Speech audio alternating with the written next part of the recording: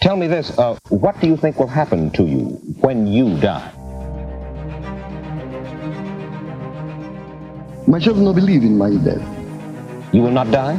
No, no believe in general in the death, but in the death of Dali, absolutely not. I enjoy tremendously every single moment of my life.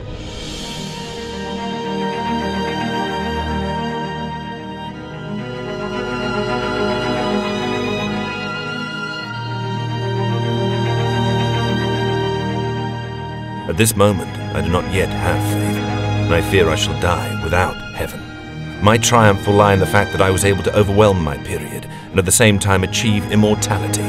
My triumph is the gold that accounts for my present day success and nurtures my eternal genius.